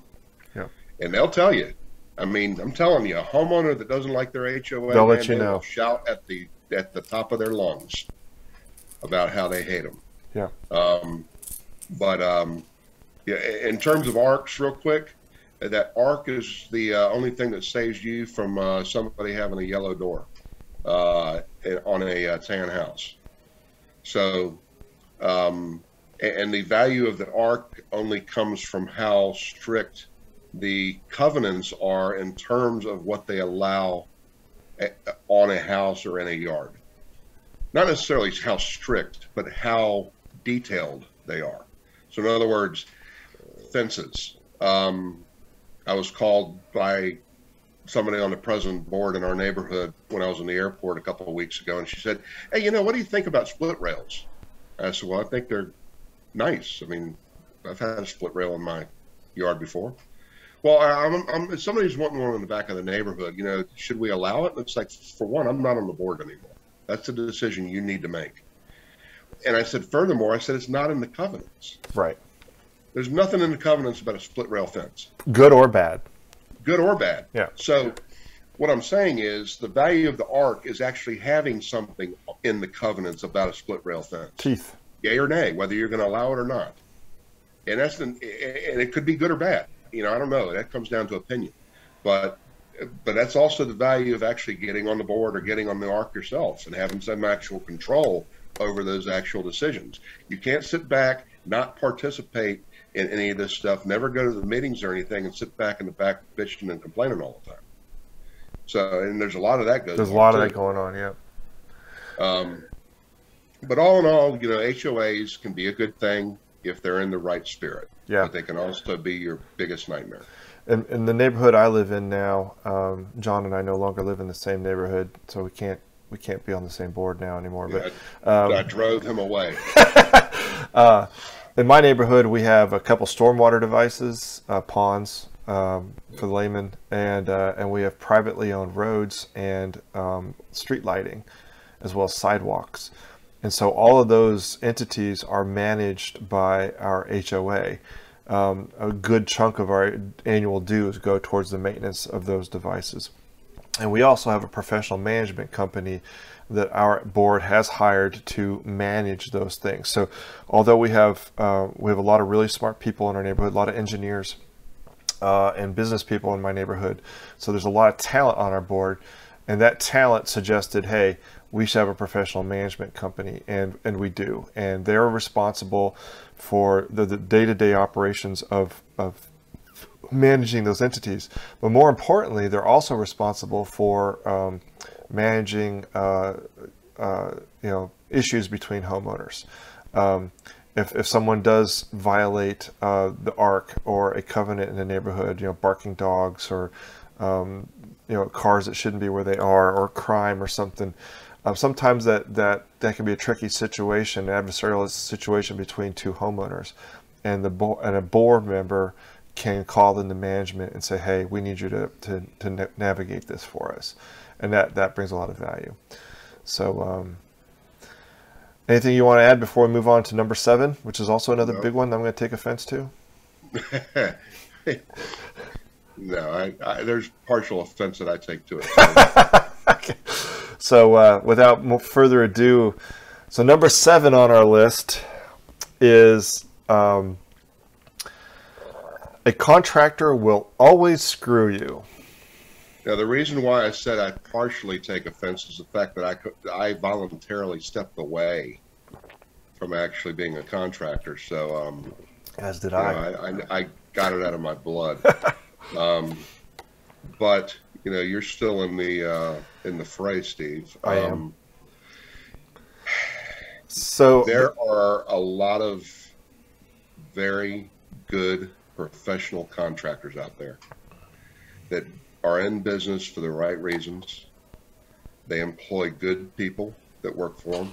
I had some of the best employees. I had, you know, for a construction business like I ran, I had no turnover. You know, when I hired somebody, I was extremely picky with who I hired. I interviewed probably to a fault to get the right person, and I paid well.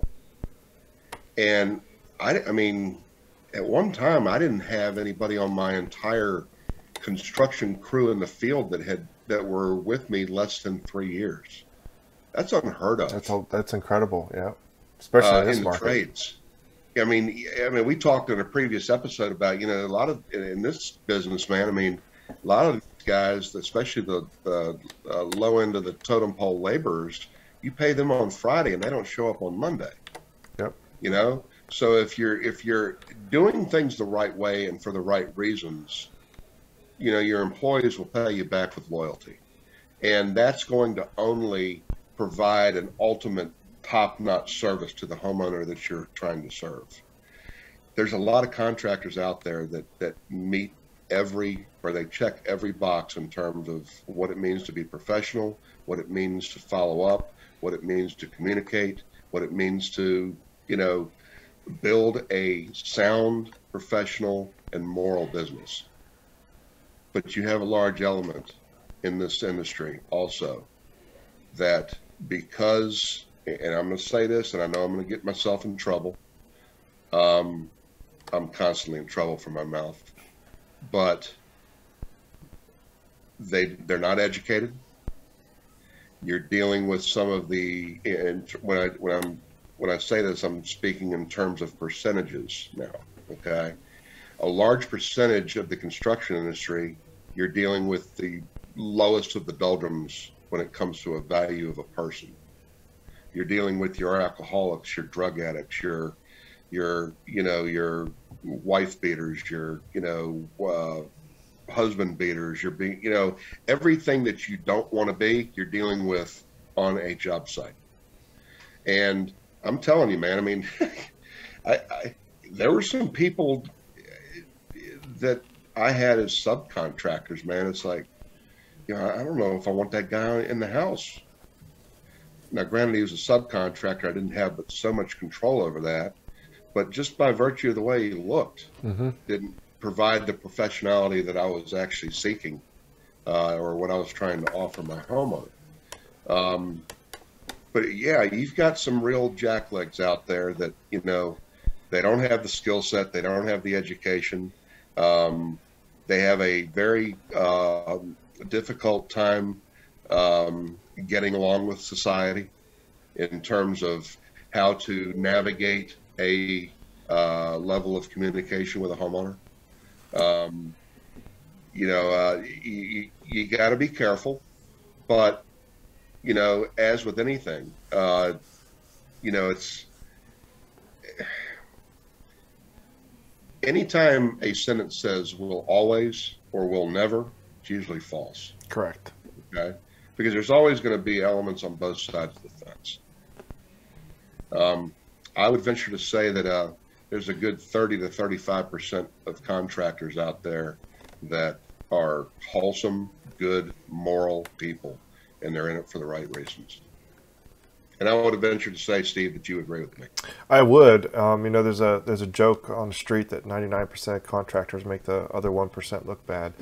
Um, so uh, yeah, um, and where I'm going to go with my comment here is, don't hire a contractor only on price.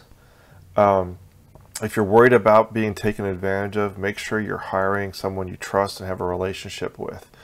And of course, you can still get you can still make mistake and hire the wrong person even though you like them or trust them. But um, if you if you have a relationship with them, then um, that will go a long way. And you know, my we have a running joke in our house that you know always bring someone into the house and see how the dogs react around them. Um, if the dogs don't like them, then kick them out. You know, um, that's there's a lot of truth to a that. lot of truth to that. A lot of truth to that. If if you know if if if you don't if you get the the willies around somebody, if they if they if they apparently don't have similar lifestyles and um, ethics and and uh, and uh, uh, you know a perception of, of how they present themselves as you do, then you're probably not going to get along with them very well. Um, you know, I wouldn't say don't hire somebody if you're a Ford guy. Don't not hire them because they're driving a Dodge, but if they show up and they're and, and they as you mentioned before there's alcohol or or other issues with them you'll know that real quick um, and the fact that they even showed up to your house in that condition is, is a clue right there um, now obviously as, as the bigger the projects get the more sophisticated and professional the contractors are that are responding to your your request for work you're going to work your way out of that but um, you know, there's there's a lot of unlicensed trades out there that have all the characteristics that John just described. So, again, we've done a couple episodes already about contracts um, that talk a lot about how to weed these out. Um, and we've also talked about um, uh, you know the ethics of how to hire people. So um, a contractor won't always screw you, but it is possible to get screwed by a contractor. How about that? There are professional contractors that they're not going to intentionally screw you, but you at the end of the project might deem that you got screwed by them. That's correct. Yep. Just by virtue of a misunderstanding. Yep. Absolutely. And that's kind of that that's probably happens more often than not. Why we're doing what we're doing as in this podcast that we do, you know, with HomeProjeXX is the fact that we're trying to create understanding of each other from both sides of the table, and there, there's been a major disconnect over the past decades in this industry. I mean, major, major disconnect, and we realize it. I mean, heck, we we we lived it. Um, you know, you don't live it so much, Steve, because you're more on the commercial side now. But in the residential side, man, Yeah. I mean, it's it's a it's a match of egos, Of course. you know. And um, you know, it's it, it, this homeowner's brace. I mean, they, they hate you before you even knock on the door, if you're a contractor, just by virtue of this particular myth right here that we're talking about. Yeah. Because they've been conditioned to think that, man, this guy when he comes in this house, he's going to screw me to high heaven. Yep. That's just not the case. You just need to do your due diligence, do your homework, research, watch these these podcasts that we're talking about. That we're going to navigate you through the process, and uh, you're going to be perfectly fine. But that does not mean that there's not going to be something that goes awry in the middle of the process. It happens. It's called construction, Yep. and that's another major thing that we say in the in the industry. It's construction. Something on the job's going to happen. We Snafu. promise you. Situation normal. All It's up. not if it's going to happen. It's a matter of when. Yep. I will. Um, uh, yeah, all that's correct. Um, I don't really have a whole lot to add to it other than the fact that, um, again, interview, interview.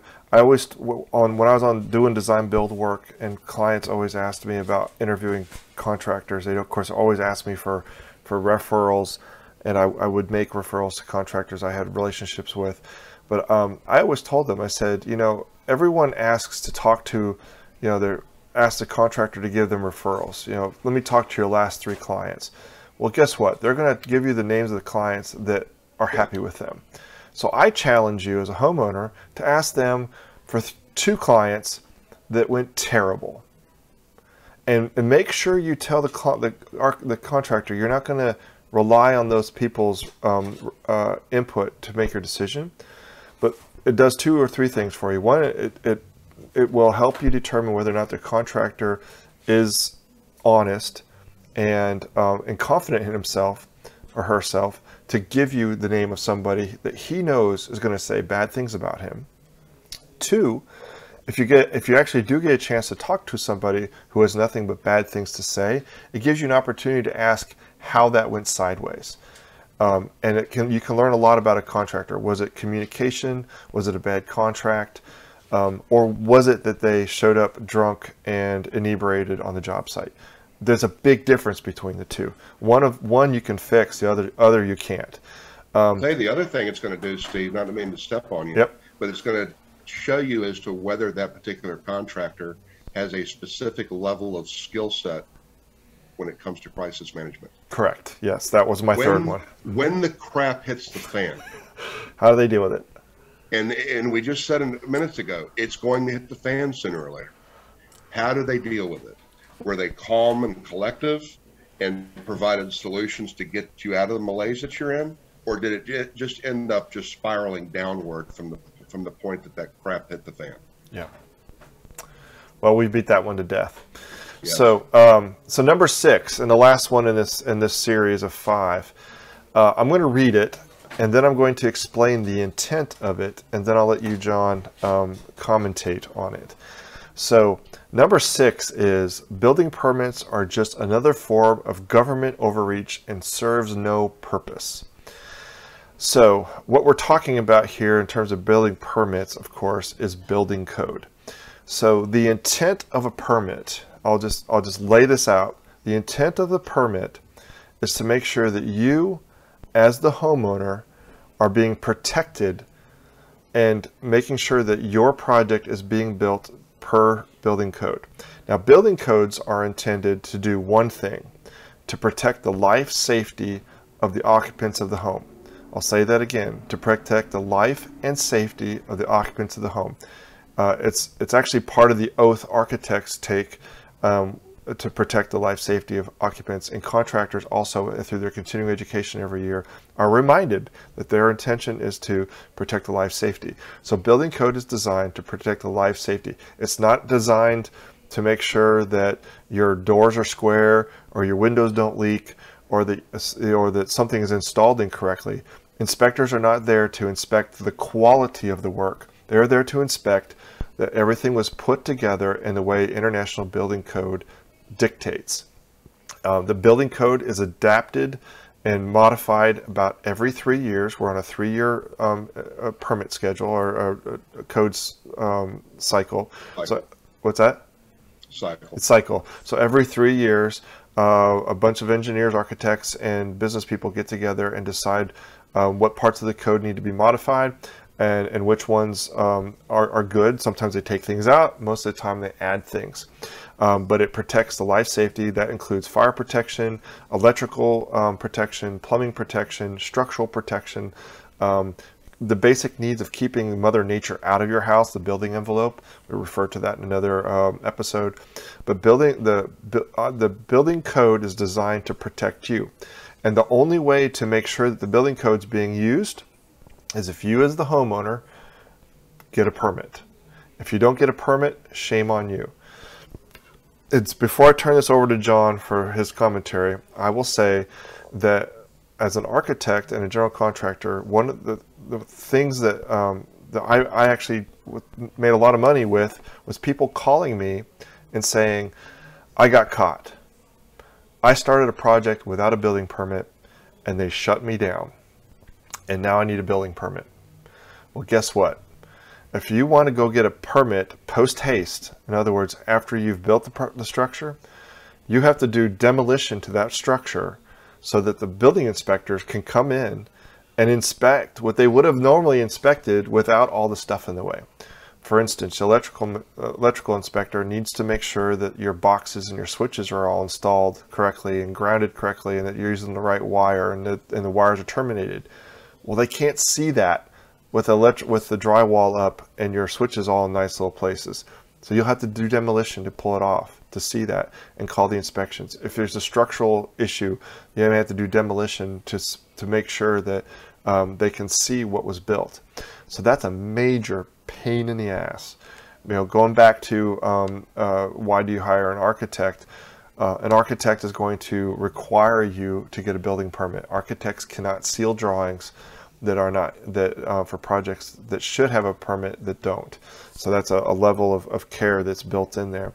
And finally, um, before I get off my my uh, soapbox here, um, when you go to sell that house in the future, let's say you put on a mother-in-law addition with a kitchen, a small kitchen, a bathroom, and a bedroom. Um, a real estate agent will compare the floor plans that are in this in the system because uh, the, the tax collectors will, will document your house and there's basic footprints of your floor plan in the system. And if they go to sell the house and realize that the floor plan in the system doesn't match what's actually built they have to disclose that. As part of the disclosure documents in your closing documents.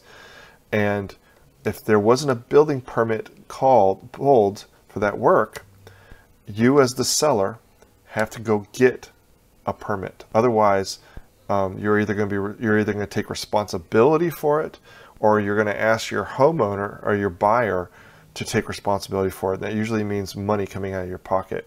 So that's generally where the when it happens when I get called and they say, hey, uh, you know, we want to sell the house, but you know, the the garage addition we did 15 years ago, we hired a Chuck in the truck or Dan in a van. He came in, built it.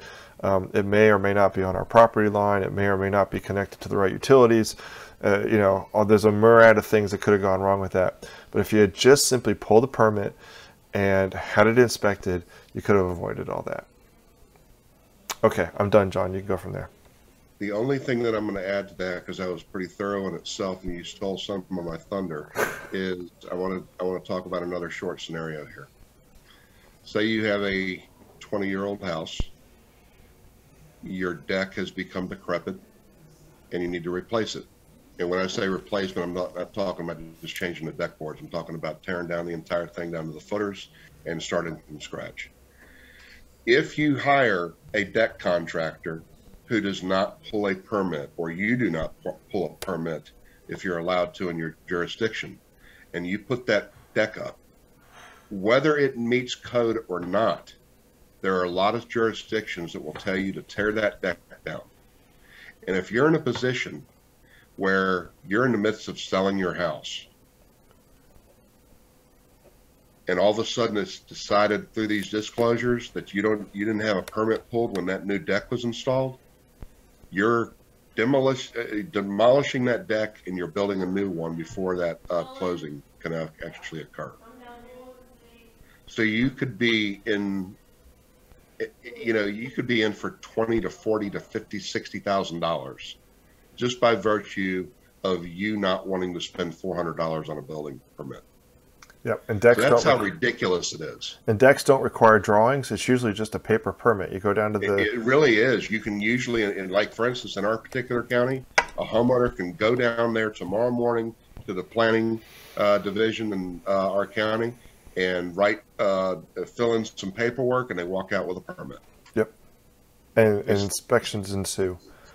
Um, so, I, I, you know, it's extremely important as in, in most cases, the cost that you're going to spend and the time that you're going to be spending and pulling them is minuscule compared to the actual uh, problems that you could uh, run into on the back end. Uh, all of that to, to just say that building permits are not another form of government outreach, overreach, and they do serve a purpose. And um, rewatch this video several times. If you have any questions, comments in the comments below go to our website, send us an email. Um, John and I will be more than happy to talk to you offline uh, if you have any questions or concerns about project you have. Um, we're going to take a quick break here and uh, come back and talk about the final five of the top 15 myths. But if you're not going to join us for that next episode, please uh, subscribe to our page, our channel, like our podcast. Again, um, share this information with family and friends on your socials. Uh, hopefully, we're providing a value to you here that you appreciate, and we're just trying to get out in front of as many people as possible um, in order to share our hard knocks, our school of hard knocks that John and I have so dutifully learned from. So, uh, until next time, have a good evening and peace. Don't forget to like our video and subscribe. Leave a comment or question while you're at it. Your support is very important. Visit www.homeprojexx.com to donate via PayPal or GoFundMe. Thank you!